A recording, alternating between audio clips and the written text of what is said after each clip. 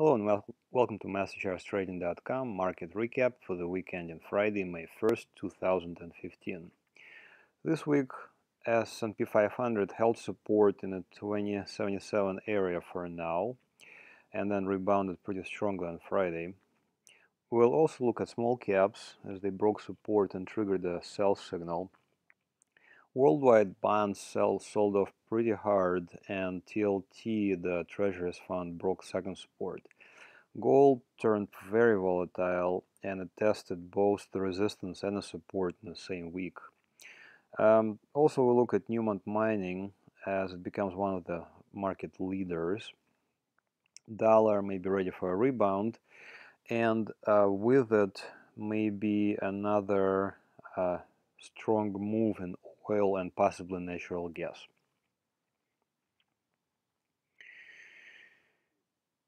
Okay, let's look at S&P 500. So S&P 500 candlestick chart. Um, the important feature of this chart is, is a bullish chart. the 50-day moving average is above the 200-day moving average, and the prices are moving from lower left to the upper right. So uh, this Thursday we had a pretty strong sell-off and the price actually touched uh, the 2077 right there in this area.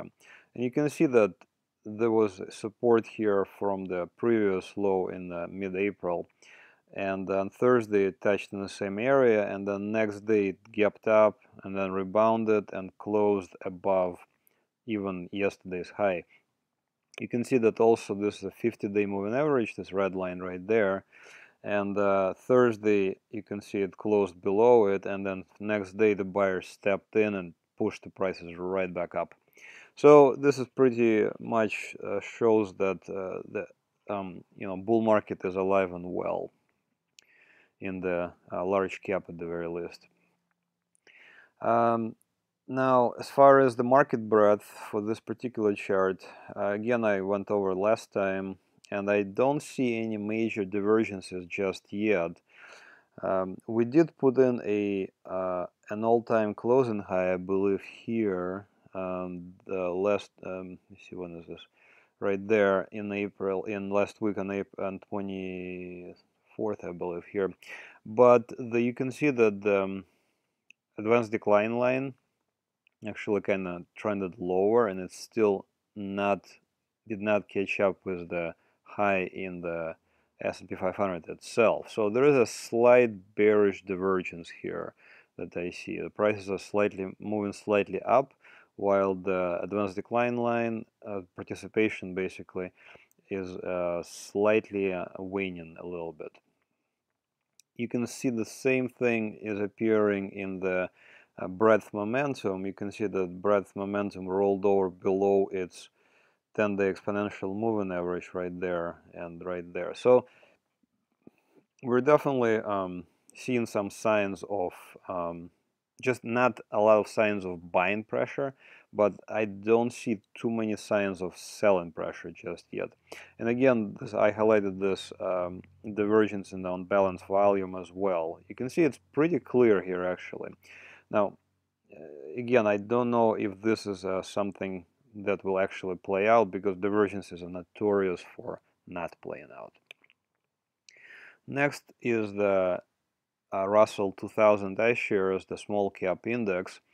And this was one of the market leaders uh, for a while now, since mid-February at least. You can see the SCTR, Stock Chart Technical Rank, was uh, you know even above 90 at a certain point here and it actually put on a, just a stellar performance here in February and April and parts and parts of April but then it just kind of collapsed and you can see right there there's a gap below the 50-day moving average and the nasty selling uh, that took place on Thursday.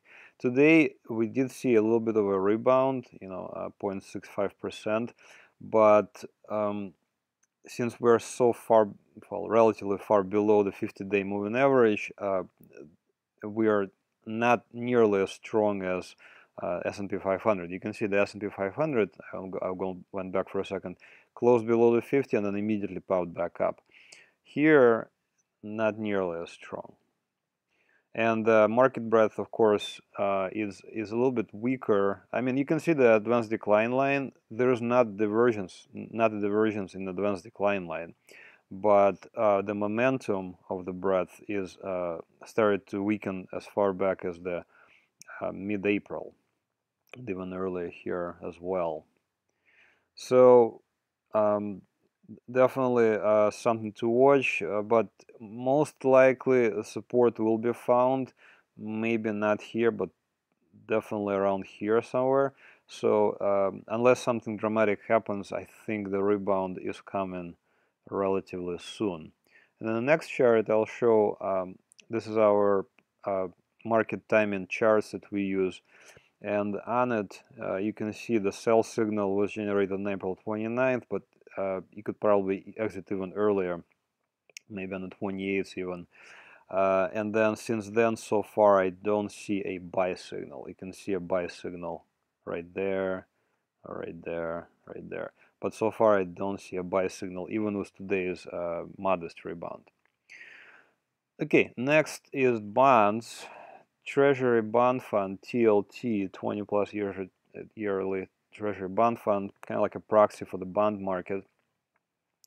And um, you can see SCTR, which is StockCharts technical rank, which ranks um, all of the ETFs, uh, non-leveraged ETFs within the universe uh, against each other. And you can see it really weakened. You can see it's at 18 right now. Um, it was above 90 uh, just a few weeks ago, a few months ago, and it really just collapsed here. So um, you can see first there was an all-time high, but then a lower low was put in and then it was confirmed by this breakdown here. So first we had, you know, we had this support break and now on Thursday I thought you know, this candlestick looked kind of bullish, and I thought, oh, great, we look like we held support here from from these uh, February and March lows, but I don't think we did, and looks like we closed below the support here on Friday. So um, I think next step would be uh, this 122 level, and you can see that this is a, a low from the March, and the 200-day moving average, they're coming in around this area. And I think that um, you know the bulls, uh, bulls, really need to step in here and at least hold support uh, to prevent you know on all complete collapse in the bond market. Um, I think you know for now uh, bonds are still bullish, so I'm looking. I would be more apt to look for a buying opportunities.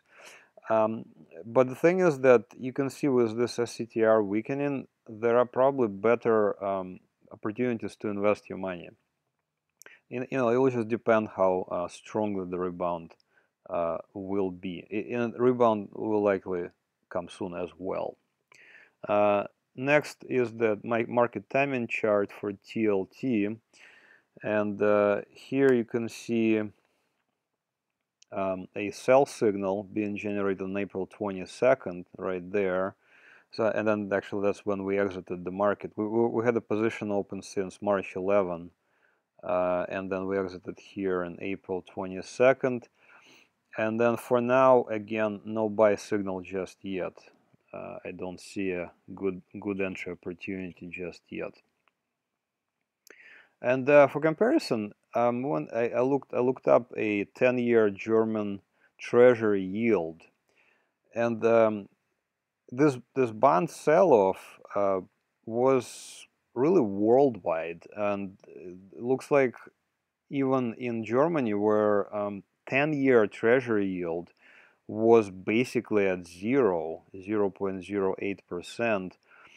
Um, since April 20th, when it was basically at zero, uh, until today, look at this look at this rise. It's 360% rise. So it was for 0.08 and it became 0.37 that's a very significant rise in just you know two weeks.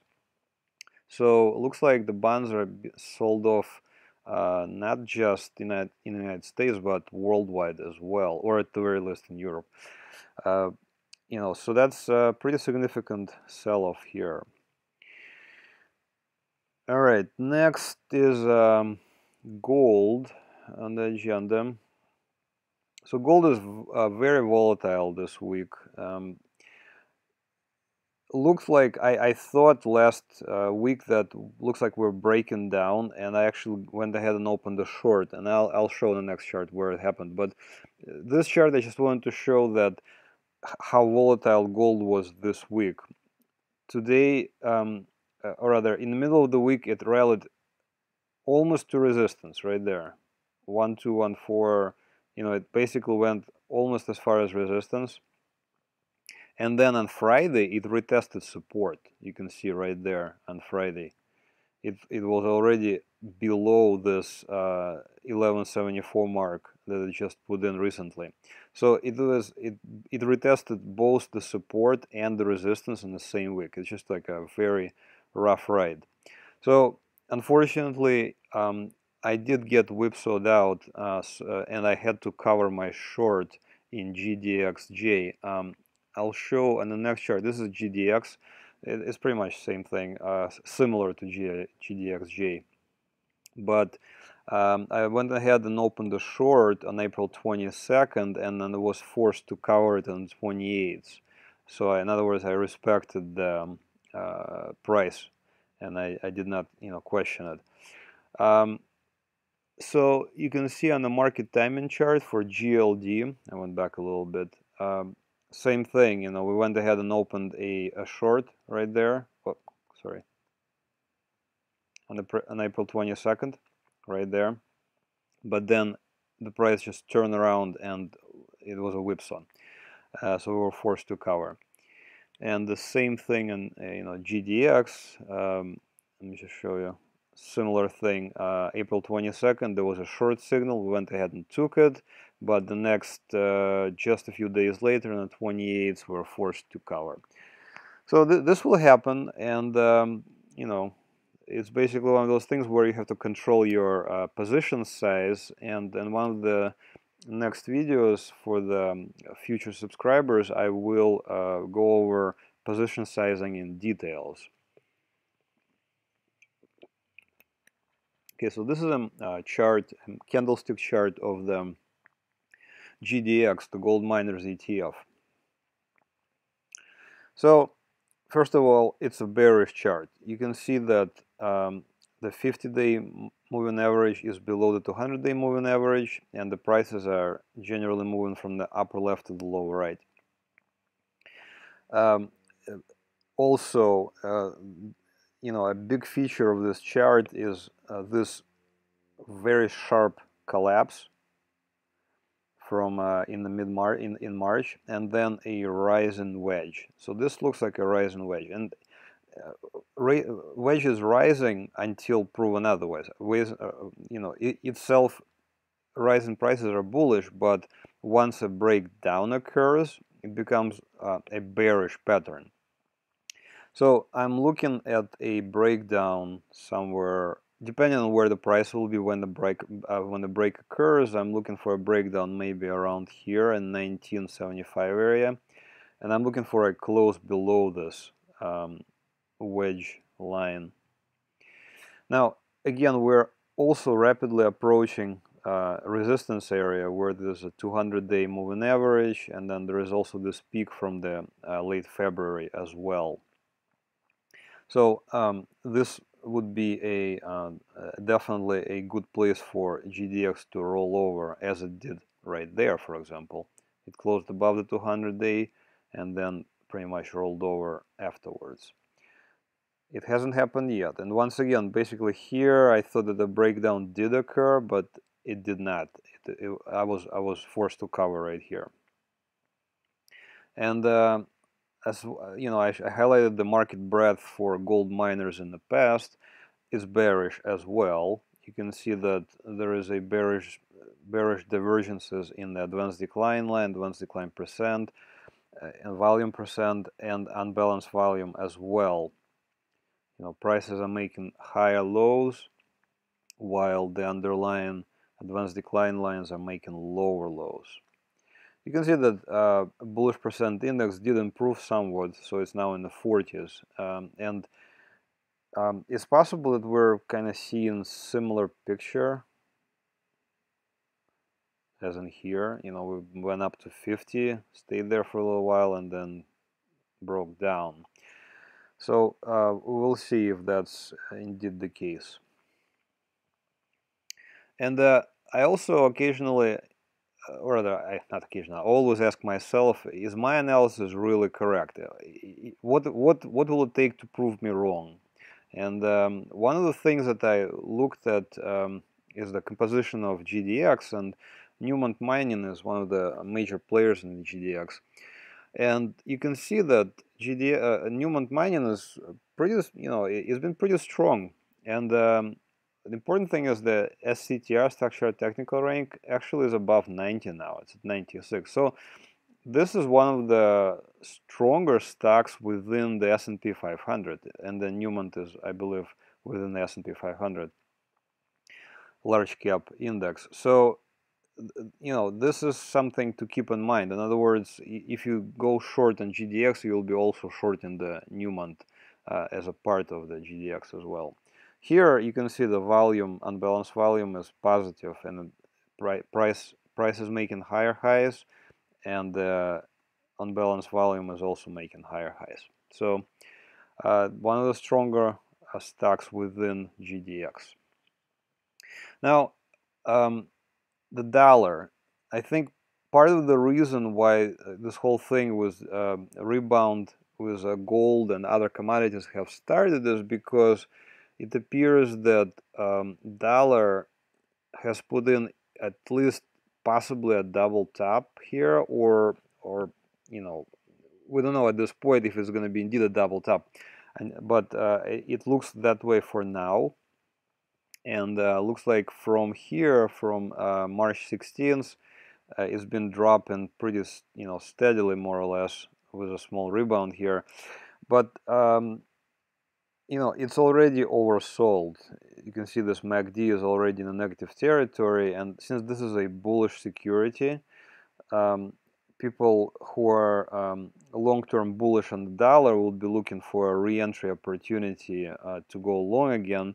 And um, it looks like it may already started to uh, make a start to make a stand here in the 24.80 dollar area 24.90 dollar area next week if if it doesn't uh, continue lower uh, we may see a rebound and um, usually if dollar rebounds the commodities will fall and that includes um, oil dollar uh, oil and um, gold and other commodities as well. As far as the market timing is concerned, for uh, UUP dollar bullish fund, you can see a sell signal occurred right there on April 27th for us, but so far I don't see any uh, entry opportunities just yet.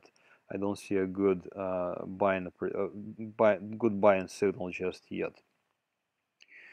And uh, let's uh, look at um, light crude oil spot price as well. So uh, I showed UUP. This is a I went back to UUP Power Shares Dollar Index Trust. You can see here uh, on, in mid March, dollar made a uh, pretty much a top here, and then since then it was sliding down. So this is about, I believe, uh, a little bit over six percent drop right there for the dollar. But over the same exact time, you can see the March 16, uh, yeah, March 16, 17 low here. And then since then, pretty much oil did nothing but go up. And this is about a little bit over 40% rise in price of oil. So it's pretty significant. And uh, dollar and um, commodities have uh, more or less negative correlation. So you can see here that um, oil yesterday closed above resistance and then today it held support you can see this uh, shadow at the bottom so um, what I'm thinking my thinking right now is if the dollar uh, rebounds uh, most likely oil will take a nosedive and if it does I will be looking for on the next chart I'll show USO United States oil fund, which I use for market timing. So there was a very good uh, short signal right here on February 10th. This would have resulted in about 16% drop or rather gain for you if you're shorting. So for now, actually there was no short signal just yet. It was a straight shot just up, up, up, up, up, up, no stop, non-stop. So if the dollar does decide to uh, rebound, um, I will be looking to short oil um, if the signal is given and I have not seen a signal just yet for oil. And as far as targets uh, for oil, I'm looking if the if the signal is given, uh, most likely the price would be already around 57, maybe around here, seven and a half. So I'm looking to at least play it to the downside to the $55 area possibly lower to the 50 uh, day moving average and possibly even lower you know it depends on how strong the dollar rebounds and um, if the supply of oil and all that is um, bearish for the oil price right and finally I will look at natural gas so uh, again, similar thing as with oil. Well, natural gas is even more bearish than uh, oil itself. Um, you can see that there was pretty much nothing but downtrend since uh, at least December here. But you can see here it was a, a really good week for natural gas. Uh, it pretty much rallied all week and closed above the 50-day moving average on Thursday and on Friday. So this is quite, you know, quite impressive for uh, natural gas. And unless we see something similar to this, you hear it also closed above 50 and then the next day just uh, collapsed here and then we saw a nice move down. Uh, unless we see something similar next week, Monday or Tuesday, um, we may see a continued rebound in natural gas prices. And uh, the first logical level to look for um, the resistance, of course, would be around here at 286 and then uh, at 305. So uh, if you're a goal, uh, if you're a natural gas bull, then uh, possibly uh, those are not bad targets for uh, at least taking some profits. And interestingly enough, you can see that we had a bullish divergence in the on balance volume. You can see the price dropped lower while the on balance volume kind of made a higher low. So that's kind of like a first sign that um, there was like a bottom in prices inside here. All right. Um, that's it for this week. Let me show you how to find us on the internet. Please go to masterchartstrading.com. Uh, we have a blog, video section, and also we're about to start trade alert services. So please do sign up for our mailing list, and uh, you'll be the first um, in line to receive a special promotional price once our services are live. And uh, also, if you have um, any of the uh, if you follow, you can follow us along on Twitter, Facebook, YouTube, or StockTwits accounts. Most of the charts that you see on, in this presentation are located right here in the public charts page uh, at masterchartstrading.com. Alright, uh, that's it for this week recap. Thanks for watching and have another great trading week. Bye-bye.